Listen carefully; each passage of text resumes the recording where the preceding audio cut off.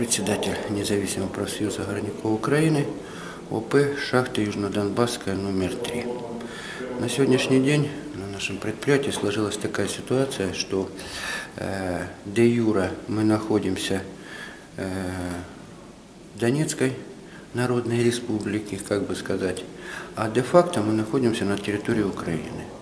Вот. И уже на протяжении трех месяцев мы никак не можем перерегистрировать наше предприятие, чтобы статус юрлица был на территории Украины.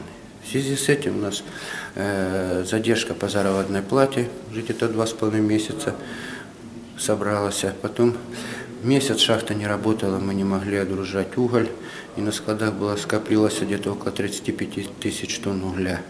Вот. Мы неоднократно обращались и в Министерство энергетики, и э, замминистру по угольной промышленности. Вот. Слышали один ответ. Мы решаем, мы будет все это решено.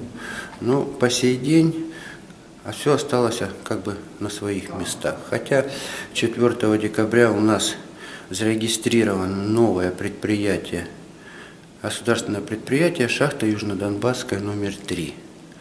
Есть такое. Но дело в том, что никак не могут передать людей и передать все майно, это оборудование, все, ну все, передать этому государственному предприятию. И оно как бы есть, и как бы его нет. Один директор там, ну и все, и больше. Так что на сегодняшний день вот эта ситуация никак не может решиться. Вот сейчас мы приехали, обратились э, к министерству, ждем результат, который обещают, что все сделаем, все сделаем, а по сей день пока еще ничего не решено. На предприятии сейчас работает э, 3000 человек.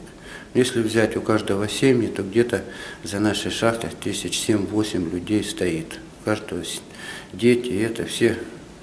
В основном э, предприятие у нас градообразующее, у нас городок Угледар, он небольшой, люди, которые работают на нашем предприятии, то э, жены в основном дома сидят. Почему? Потому что на самом городе ну, работы нету. Так что шахтеры являются единственными кормильцами. И такая ситуация сложилась, что на данный момент люди выживают.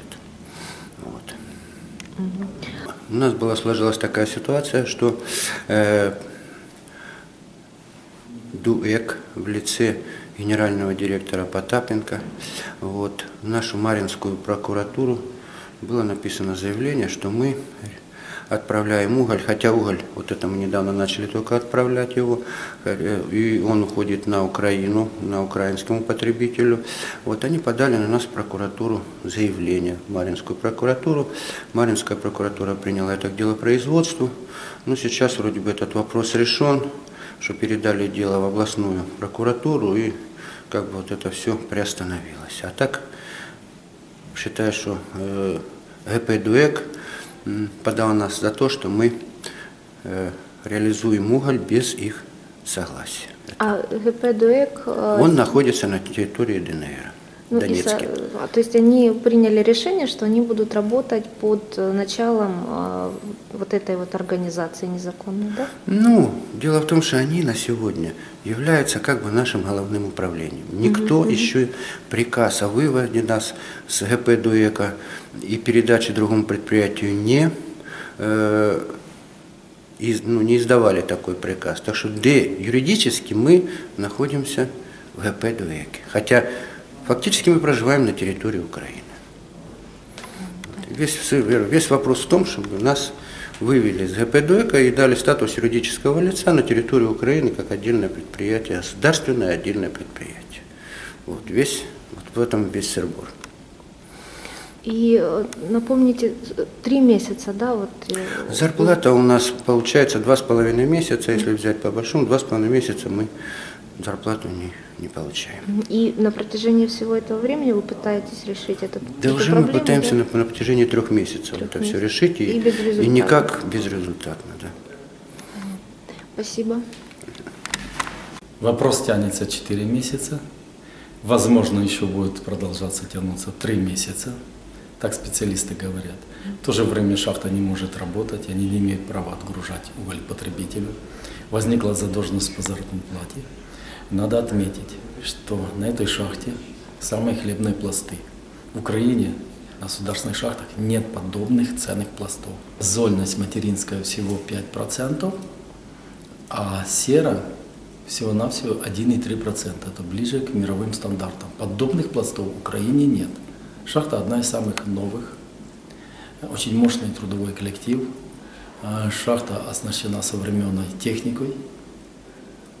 Но в силу безответственности первых руководителей Министерства энергетики и угля эта шахта не работает, коллектив не может получать заработную плату. И э, вопрос стоит э, в самом простом. Предоставление шахте юридического лица. Шахта находится на территории подконтрольной органам власти, украинских органов власти, и там не было никаких разрушений. Э, На этой территории нет никаких боев. Поэтому абсолютно непонятно, почему э, такое отношение, такое безответственное отношение к власти.